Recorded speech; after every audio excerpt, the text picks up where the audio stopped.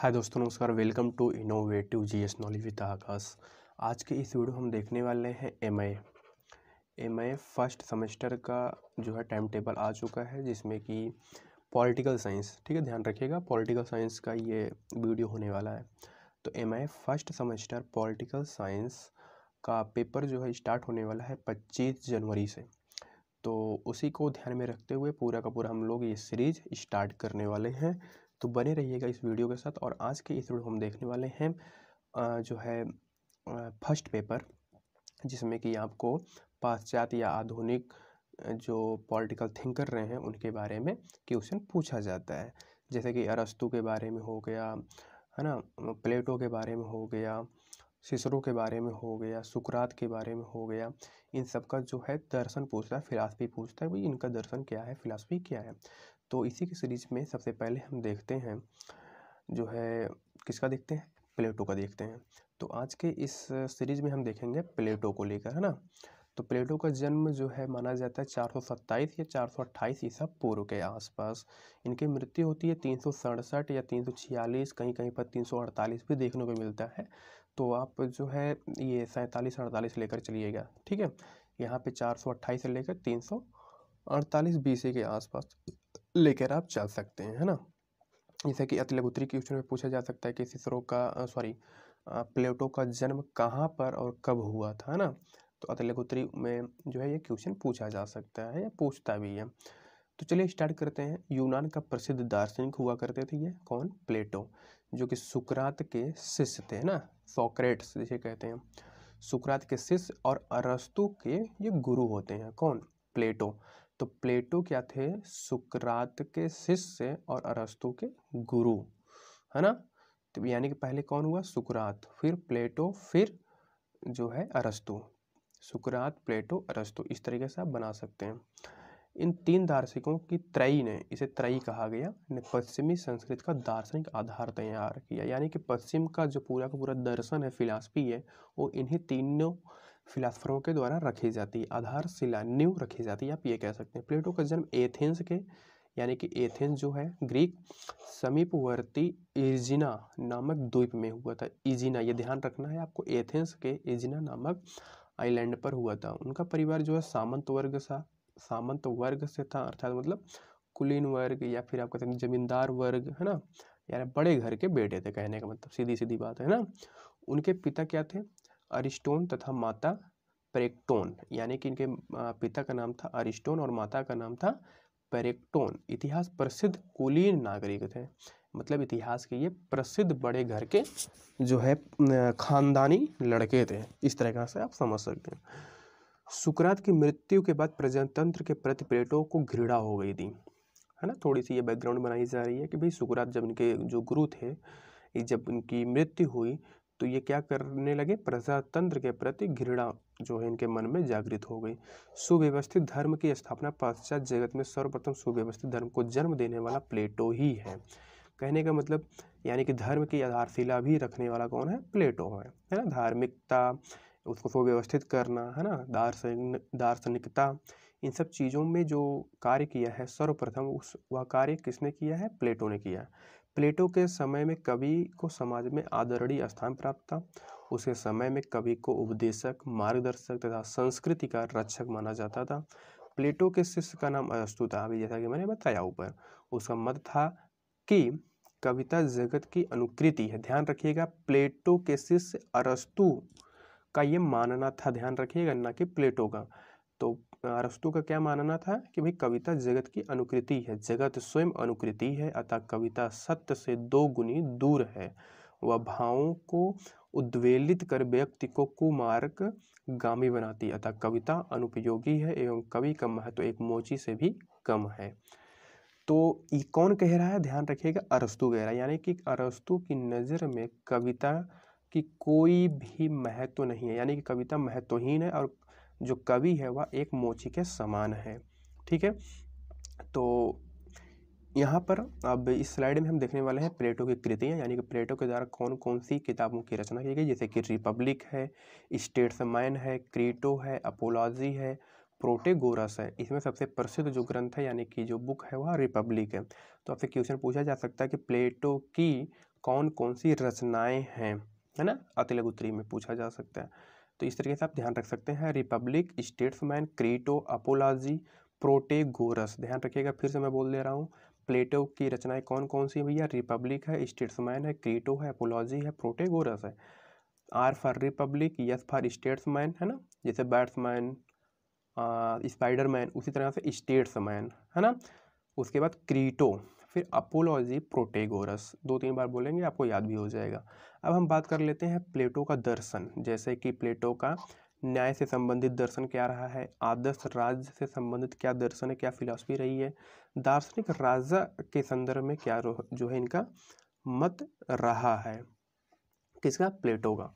उसके बाद प्लेटो का जो है साम्यवाद क्या है? प्लेटो का शिक्षा व्यवस्था को लेकर क्या मत है है ना? तो इतनी चीज़ें हम देखने वाले हैं। एक बार मैं फिर से बता देना चाहता हूँ, प्लेटो की कृतियाँ कौन कौन सी है भैया? रिपब्लिक है स्टेट्समैन है, क्रीटो है अपोलॉजी है और प्रोटेगोरस है। R for Republic statesman Crito apology Protagoras. अब हम बात कर लेते हैं प्लेटो का दर्शन। प्लेटो का दर्शन यानी कि न्याय से संबंधित उन्होंने कौन सा दर्शन दिया है? है ना? न्याय से संबंधित उनके क्या दर्शन रहे हैं, क्या सिद्धांत रहे हैं न्याय को लेकर कि भाई न्याय कैसा होना चाहिए? प्लेटो का आदर्श राज्य क्या है? प्लेटो का दार्शनिक राजा कैसा होना चाहिए? यानी कि उन्होंने ये बताया है कि एक राज्य का राजा किस तरह का होना चाहिए? अर्थात दार्शनिक राजा होना चाहिए। इन्होंने ये बात कही है। तो दार्शनिक राजा के गुण क्या हैं? अवगुण क्या होने चाहिए? यानी कि मतलब क्या क्या अवगुण नहीं होने चाहिए और क्या क्या गुण होने चाहिए? और कैसा राजा होना चाहिए? किस चीज़ से बचना चाहिए? क्या करना चाहिए? यानी कि पूरा का पूरा जो है दार्शनिक राजा बनाकर ये प्लेटो छोड़ते हैं। उसके बाद साम्यवाद क्या है? यानी कि प्लेटो का साम्यवाद क्या है? प्लेटो की शिक्षा व्यवस्था क्या है? इन सारी चीज़ों पर हम बात करने वाले हैं। तो सबसे पहले हम बात कर लेते हैं प्लेटो का न्याय क्या है है ना? प्लेटो का न्याय सिद्धांत क्या है? इस तरह का, इस तरह से भी आप देख सकते हैं। तो ये लघु उत्तरी क्वेश्चन पूछा जा सकता है या दीर्घ उत्तरी क्वेश्चन पूछा जा सकता है कि भाई प्लेटो का जन्म स्थान कहाँ पर है या उनका थोड़ा सा बैकग्राउंड, हिस्टोरी और कहाँ के रहने वाले थे, उनके गुरु कौन हैं, उनके शिष्य कौन हैं, है ना? उसके बाद जो है, प्लेटो का जो है, कमेंट करिए, टिप्पणी कीजिए। प्लेटो का दर्शन क्या है, फिलासफी क्या है, प्लेटो का न्याय सिद्धांत क्या है, प्लेटो के न्याय सिद्धांत पर टिप्पणी कीजिए। इन सब तरीके से क्वेश्चन पूछा जा सकता है आपसे। तो प्लेटो का न्याय सिद्धांत का आइए हम देखते हैं। तो रिपब्लिक का प्रारंभ और अंत न्याय के स्वरूप के विवेचन के साथ होता है।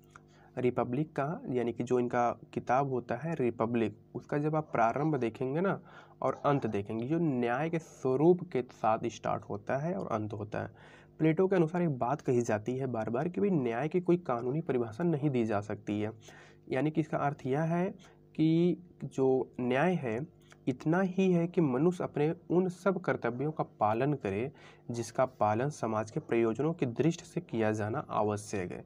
समाज और राज्य अपनी आवश्यकताओं तथा व्यक्तियों की योग्यताओं के अनुसार उनके लिए कुछ कर्तव्यों और धर्मों का पालन करने का नियम बनाते हैं।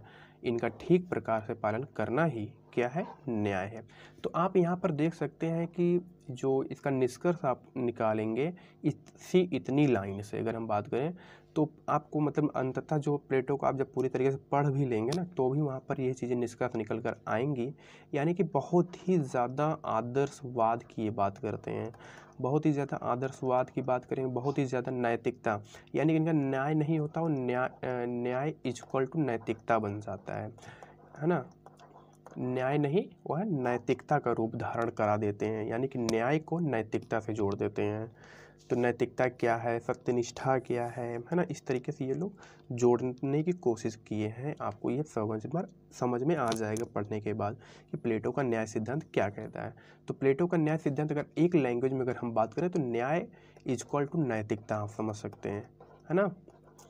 ये नैतिकता से जोड़ते हैं। जैसा कि यहाँ पे बता भी रहा है कि इनके अनुसार कुछ कर्तव्य बताए जाते हैं और धर्मों का पालन करने का नियम बनाए जाते हैं। उन्हीं का अगर ठीक ठीक से लोग प्रयोग करें तो वही क्या है? न्याय है है ना? तो ये सही भी बात है भाई, अगर हर आदमी अपनी अपनी चीज़ों को पालन करे, अपने कर्तव्यों का जो सही निर्वहन करे तो वही न्याय होता है।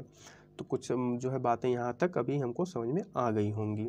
तो चलिए स्टार्ट करते हैं, थोड़ा सा और आगे बढ़ते हैं। प्लेटो का और क्या न्याय का सिद्धांत कहता है? तो भाई प्लेटो के मतानुसार राज्य के चार गुण भी बताए जाते हैं, यानी कि वर्चूज जिसे हम कह सकते हैं, बताए जाते हैं। कौन कौन से? जैसे कि बुद्धिमत्ता है, साहस है, संयम है और न्याय। बुद्धिमत्ता राज्य के शासक वर्ग में रहती है। ध्यान रखिएगा, प्लेटो के अनुसार राज्य के चार गुण बताए जा रहे हैं, ना कि न्याय के चार गुण बताए जा रहे हैं। ध्यान रखिएगा इस बात को। राज्य के चार गुण, है ना? राज्य के चार गुण का मतलब राजा के चार गुण, यानी कि राजा के पास क्या होनी चाहिए? बुद्धि होनी चाहिए, साहस होना चाहिए, संयमी होना चाहिए और न्यायप्रिय होना चाहिए। ये चार गुण बताए जाते हैं प्लेटो के न्याय सिद्धांत के अकॉर्डिंग बुद्धिमत्ता राज्य के शासक वर्ग में रहती है, वह बुद्धि द्वारा राज्य का शासन करता है। साहस सैनिक वर्ग का गुण है, तथा संयम उत्पादक वर्ग का न्याय ही शेष रहा है। यह क्या है और कहाँ रहता है? इस संबंध में प्लेटो का यह उत्तर है कि अपने निश्चित स्थानों में अपने कर्तव्यों का पालन करना और दूसरों के कर्तव्यों में हस्तक्षेप न करना ही न्याय है। अतः इसका निवास स्थान अपना निश्चित कर्तव्य पूरा करने वाले प्रत्येक नागरिक के मन में है।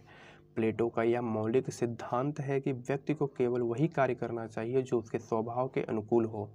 उदाहरण के लिए अगर हम देखें तो शासक यदि बुद्धिमत्ता पूर्वक अपना कार्य करता है तो वह न्यायी है और वह राज्य भी न्यायी है, क्योंकि इतना क्योंकि इसका नागरिक अपने निश्चित स्थानों में निश्चित कार्य को पूरा कर रहा है। तो इस स्लाइड से, इस फैक्ट को पढ़ने के बाद हमको ये समझ में आ रहा है कि प्लेटो ने क्या किया। राज्य के चार गुण बताए कौन कौन से बुद्धिमत्ता, साहस, संयम और न्याय? तो ये बता रहा है कि भाई, जो राजा है वह क्या है? यानी कि जो शासक वर्ग क्या है, वो बुद्धिमत्ता है। साहस किसका गुण है? एक जो है आर्मी का, यानी कि एक सैनिक का। संयम बता रहे हैं कि ये व्यापारी का जो गुण होता है, वो संयमी का होता है। अंत में ये बता रहे हैं कि न्याय कहाँ पर रहता है या न्याय किसका है? या किसका जो है, किसके अंदर ये होनी चाहिए?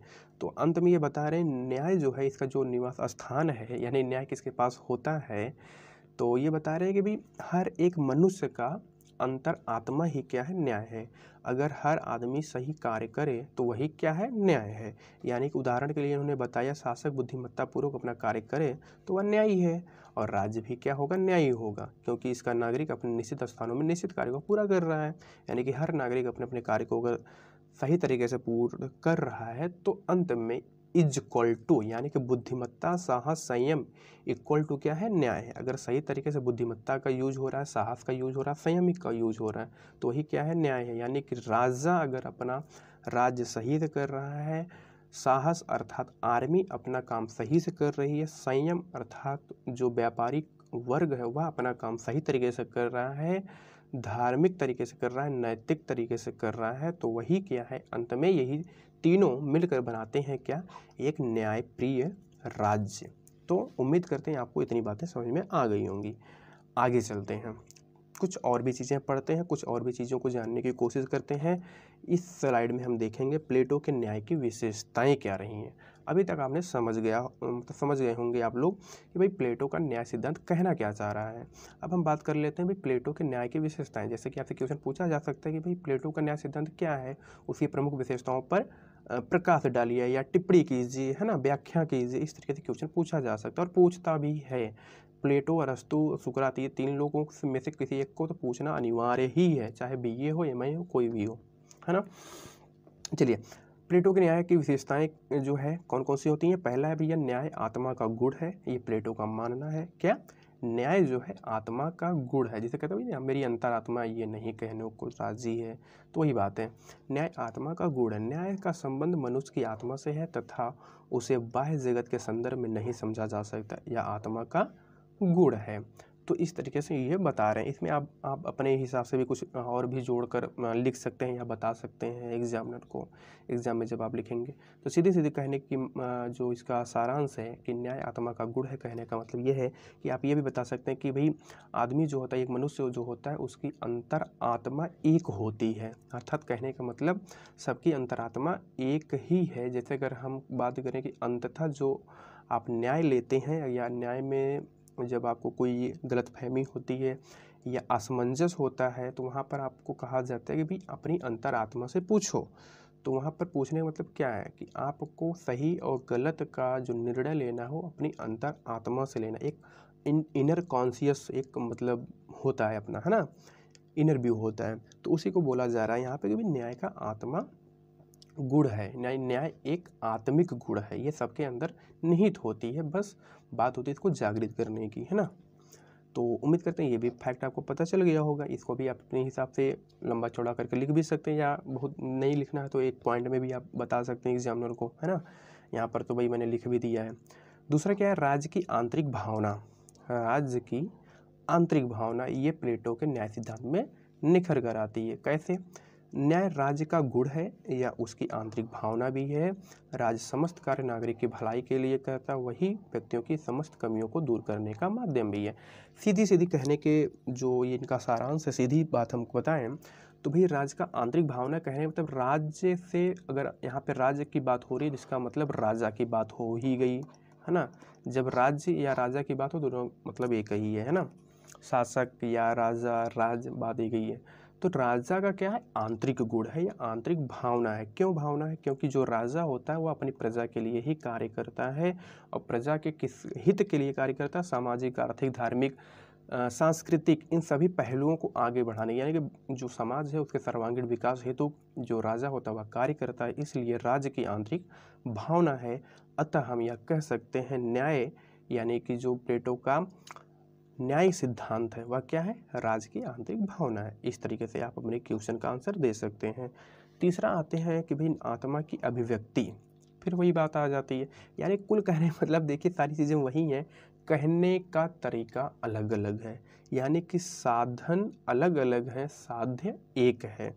अब यहाँ पर भी वही बात की जा रही है कि भाई, आत्मा की अभिव्यक्ति ही क्या है? न्याय है। यानी कि जब हम अपने इनर कॉन्सियस से कोई फैसला लेते हैं, वही क्या है? न्याय है। तो जिसे प्लेटो न्याय को आत्मा की अभिव्यक्ति मानते हैं, उत्तमता आत्मा का गुण होता है। अस्त उत्तमा की सर्वोत्तम अभिव्यक्ति ही क्या है? न्याय है। सीधी सीधी बात यहाँ पर थोड़ा सा डिफ़िकल्ट लैंग्वेज लिखी गई है, किताबी लैंग्वेज है। मैं आपको बता देना चाहता हूँ कि आत्मा की अभिव्यक्ति का मतलब ये है कि कि जो कुछ भी सही है या गलत है, वह आत्मा जब प्रेजेंट कर देती है, वही क्या है? न्याय है। यानी कि कोई चीज़ या तो राइट होगी या तो रॉन्ग होगी। है ना? दो में से एक ही होगी ना भाई? या तो राइट होगी या तो रॉन्ग होगी। इसकी सही सही चीज़ों को अभिव्यक्त कर देना ही क्या है? न्याय है। यानी कि जो आत्मा है, उसका जो संबंध है, वह एक न्याय से ही है। अर्थात कहने का मतलब आत्मा कभी अन्यायी हो ही नहीं सकती, ऐसा प्लेटो का मानना है। तो प्लेटो के न्याय सिद्धांत के अनुसार ये तीन विशेषताएँ इस स्लाइड में हमने देखी, आगे भी देखेंगे। चौथा प्लेटो के न्याय के सिद्धांत के अंतर्गत चौथा न्याय की विशेषताएँ हैं, न्याय कला नहीं है। यानी कि न्याय एक कला नहीं है, जैसे कि और सारी चीज़ों को, और सारे सब्जेक्टों को, या और सारे फैक्ट को जो है हम कला मान सकते हैं, या मानते हैं, या मनाने की कोशिश की जाती है। लेकिन यहाँ पर प्लेटो बताते हैं कि न्याय कला नहीं है। क्यों? क्योंकि प्रत्येक कला का ज्ञान सापेक्ष होता है। सापेक्ष होता मतलब कुछ न कुछ जो है, जो भाई उससे सापेक्ष, जैसे कि कहते हैं कि उसके अनुकूल, उसके अकॉर्डिंग है ना? लेकिन जो न्याय क्या है, ये निरपेक्ष होता है। क्यों? तो अतः हम ये कह सकते हैं, इसमें जो वृद्धि होती है, यानी कि न्याय में क्या होती है? वृद्धि होती है। न्याय निरपेक्ष होता है, तथा इसमें अस्थायित्व एवं निश्चितता पाई जाती है। कहने का मतलब सीधा सीधा ये है कि न्याय कोई कला की चीज़ नहीं है। न्याय क्या है? निरपेक्ष है। सीधी सीधी बात, न्याय कला नहीं है। न्याय जो है अन्य जो है कला की तरह क्या है? सापेक्ष नहीं है या निरपेक्ष है। निरपेक्ष है यानी कि कहने का मतलब किसी का पक्ष नहीं लिया जाता है यहाँ पर सीधी सीधी कहने। की जो मीनिंग है यहाँ पर यही निकल कर आती है। न्याय कला नहीं, न्याय क्या है? एक निरपेक्ष है। क्योंकि प्रत्येक कला का ज्ञान सापेक्ष होता है, यानी कुछ न कुछ चीज़ें मतलब इन जैसे कहते हैं ना ये जो कुछ भी हम ज्ञान अर्जित करते हैं ना, कुछ कुछ कुछ ना कुछ उसका क्या होता है, साध्य होता है है ना? कुछ ना कुछ उसका हम लक्ष्य निर्धारित करते हैं। लेकिन न्याय क्या है? खुद में एक निरपेक्ष है तो इसलिए यहाँ पर हम न्याय को कला नहीं मानेंगे। पांचवा है इसका आवास आदर्श समाज है। इसका आवास आदर्श समाज है, जैसे कि कहने मतलब अभी हमने बताया कि बुद्धिमत्ता किसका है? यानी बुद्धिमत्ता का आवास क्या है? राजा है। उसके बाद हमने देखा कि जो संयम है, यानी या साहस है, साहस का आवास क्या है? आर्मी है, सैनिक है। संयम का आवास क्या है?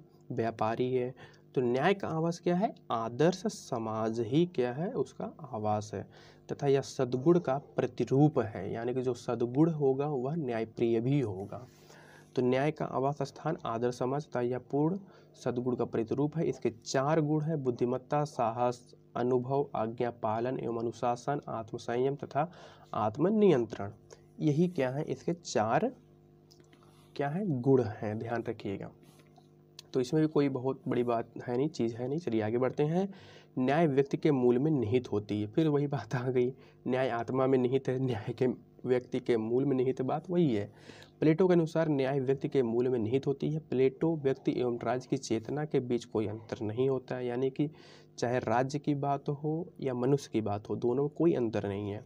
है ना? यानी कि राज्य और राजा में कोई अंतर नहीं है। राज्य की संस्थाएँ व्यक्ति के अंदर की बाह्य अभिव्यक्तियाँ हैं। जो भी संस्थाएँ होती क्या है? एक बाह्य अभिव्यक्ति हैं, यानी कि एक व्यक्ति की बाहरी अभिव्यक्तियाँ ही क्या है? संस्थाएँ हैं। ये बाह्य अंग एवं इकाइयाँ आदि यथास्थान रहकर आंतरिक चेतना पर नियंत्रण तथा सामंजस्य बनाए रखती हैं तो इसे ही न्याय कहा जा सकता है। ठीक?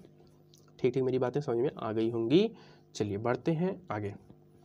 प्लेटो के न्याय के सिद्धांत के अंतर्गत ही सातवां और अंतिम जो क्या कहते हैं विशेषता है वह प्लेटो के न्याय के दो रूप बताए जाते हैं।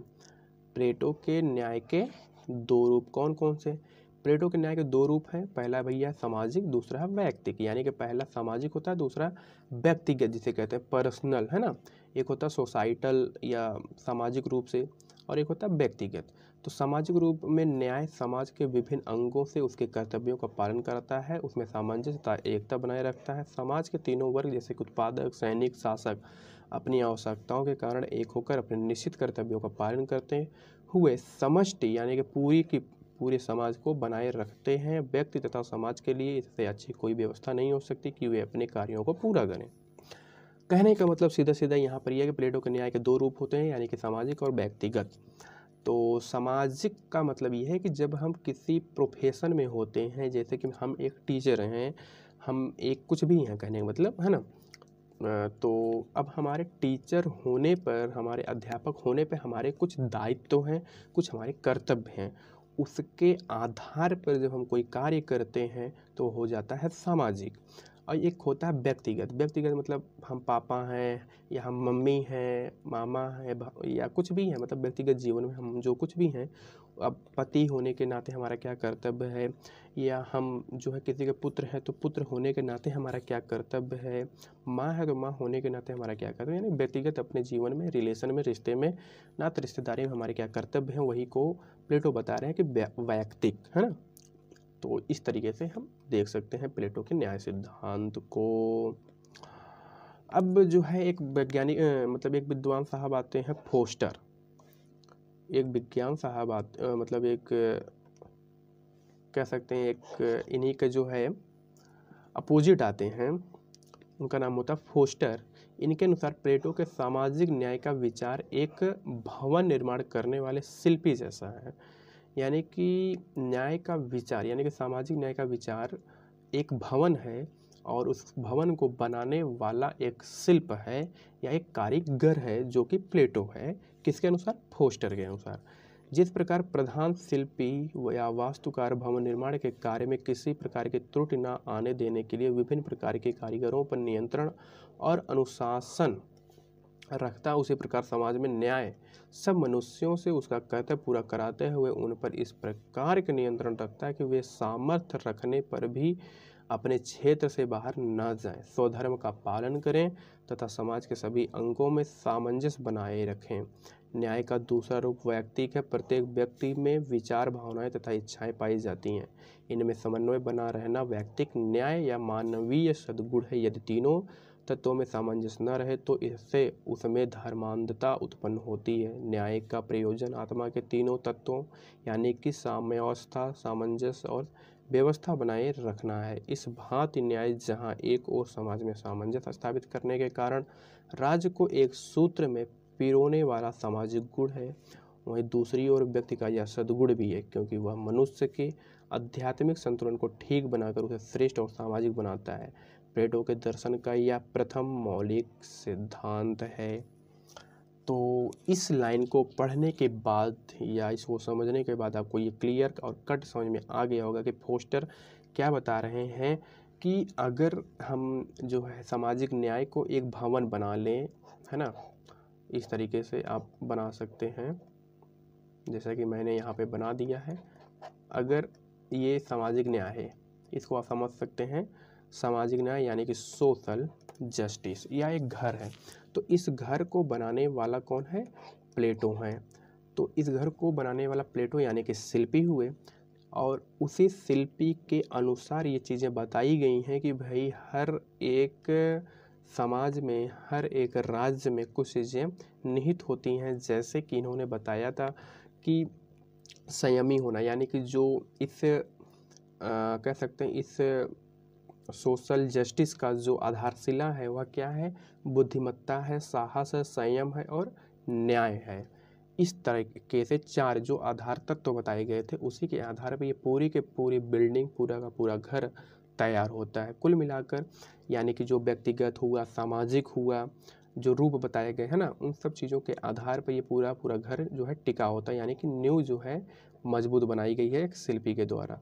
तो इन्होंने क्या किया है? उसी चीज़ को यहाँ पे व्याख्यात करते हुए, यानी कि फोस्टर साहब व्याख्यात करते हुए प्रशंसा कर दिया है। तो आपको भी ऐसे थोड़ी सी प्रशंसा कर देनी है ना कि कॉपी भरने के लिए। तो यहाँ से तो हमको लगता नहीं है कि आपको कुछ ऐसी चीज़ें छूट रही हों कि जो ना समझ में आया होगा। बाकी कमेंट बॉक्स में आप कमेंट कर सकते हैं कि भाई नहीं समझ में आया तो हम उसको थोड़ा सा दोबारा बता सकते हैं ना? चलिए प्लेटो के सिद्धांत की अब आलोचना भी हम कर देते हैं थोड़ा सा भाई ये भी आता है कि भाई प्लेटो के न्याय सिद्धांत की आलोचना कीजिए, टिप्पणी कीजिए, है ना? या समालोचना कीजिए। इस तरीके से क्वेश्चन पूछा जा सकता है। तो पहली आलोचना, यानी कि प्लेटो के न्याय की कल्पना यूनान की तात्कालिक परिस्थितियों की दृष्टि से उपयोगी होते हुए भी यथार्थ नहीं प्रतीत होती हैं। प्रोफेसर बारकर के कथानुसार अच्छा ये सब कोट करिएगा करिएगा ज़रूर आप लोग। प्रोफेसर बारकर के अनुसार या इनके अनुसार या उनके अनुसार, इस तरीके से जब आप कुछ करते हैं ना तो उसका इम्पैक्ट एग्जामिनर के ऊपर कुछ ज़्यादा ही पड़ता है। इसका मतलब लगता है कि भाई बच्चा कुछ पढ़ा है। है ना तो ये इम्प्रेसिव जो है कथन होते हैं। तो जैसे हमने लिख दिया प्रोफेसर बारकर के अनुसार तो क्या अनुसार? कि इसका सबसे बड़ा दोष यह है कि यह न्याय नहीं है, यह केवल मनुष्य के अपने कर्तव्यों तक सीमित करने वाली भावना मात्र है। कोई ठोस कानून नहीं है न्याय कानून का पालन करने वाली शक्ति होती है, किंतु प्लेटो का न्याय नैतिक भावना के अतिरिक्त कुछ भी नहीं है। तो ये मैंने शुरुआत में भी बताया था कि भाई क्या है न्याय? प्लेटो का क्या है? एक नैतिक है। एक नैतिक वान मनुष्य बनाना जो है, निहित होता है इनके सिद्धांतों में। तो इसलिए यह कोई न्याय नहीं है। और यह व्यक्तिगत जीवन को जो है सौंदर्य बनाने का या व्यक्तिगत जीवन को अच्छा बनाने का एक कल्पना मात्र है। प्लेट, दूसरा क्या है? प्लेटो के न्याय सिद्धांत का दूसरा दोष यह है कि इसमें कर्तव्य की भावना प्रधान है। यानी कि कर्तव्य को प्रधान माना गया है। इसमें अधिकार का कोई विचार ही नहीं है। न्याय में कर्तव्य और अधिकार दोनों का विचार होना चाहिए। तीसरा क्या है? तीसरा दोष यह है कि इसमें व्यक्ति को केवल एक ही कार्य तक सीमित कर दिया गया है।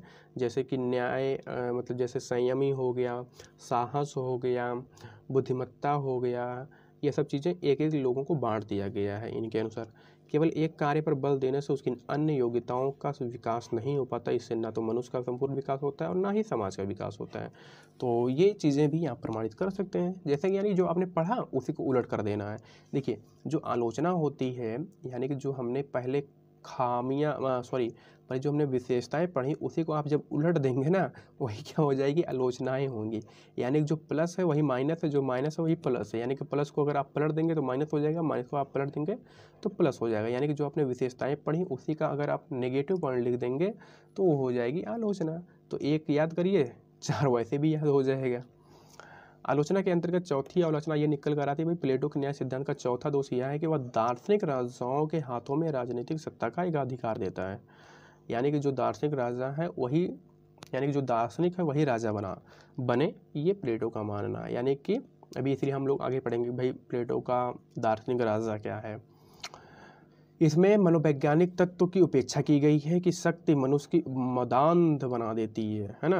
यानी कि जो शक्ति हो, वह अंधा बना देती है, कहने का मतलब। पांचवा और अंतिम दोष यह है कि इसमें अधिकारों के कारण मनुष्य में होने वाले स्वाभाविक संघर्षों के समाधान की कोई व्यवस्था ही नहीं की गई है है ना?